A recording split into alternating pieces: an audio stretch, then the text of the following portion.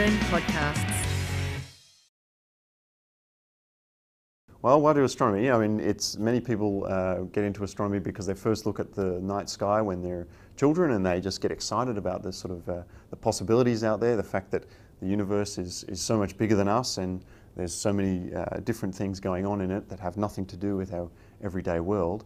That's uh, an impressive kind of uh, concept, and that's probably why I got into astronomy. So I've always had an interest as a kid in space. Um, I had my own little backyard telescope when I was, when I was young. I used to look at the, the moon and the planets. Um, so when I got older, I went to university, did a, a degree in physics, and was very interested in the astronomy and astrophysics courses. So I signed up for a PhD in astronomy and then never looked back. I've, I've always had some interest in, in astronomy, but I wouldn't say that I actually came at it from the amateur astronomy point of view. I never really owned a telescope, for example. I guess I came into it more from the side of, of physics, which I was interested in, and and had some interest in space all this all this time. And then as I started taking courses at my undergraduate university, so that was in Canterbury in New Zealand, uh, I discovered that you know the astronomy was the really interesting stuff, and physics started to become difficult and less interesting perhaps.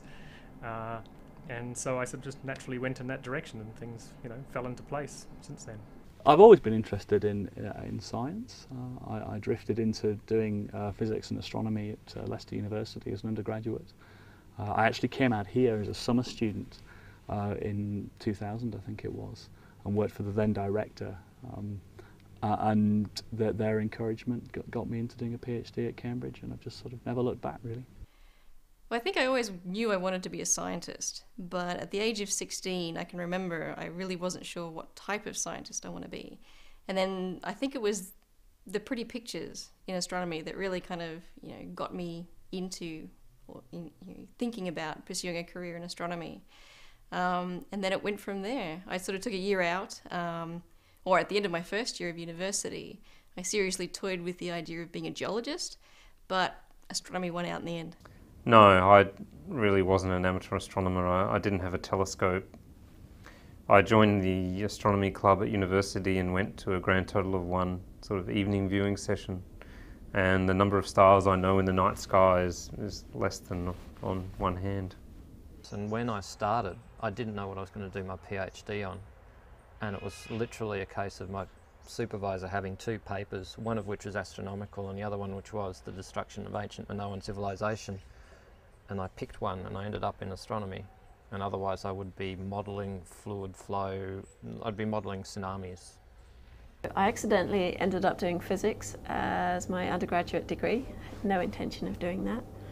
And then um, I left that with a Master of Physics, uh, which is a kind of equivalent in the UK of a BA honours here, uh, BSc honours, and then decided that I would leave because I hated physics and never wanted to see it again. And then spent a year traveling and doing menial jobs and reading New Scientist because I really missed the science. Uh, and in the course of this, kind of later on that year, I kind of found myself going, well, why don't I just go and do a PhD in astronomy and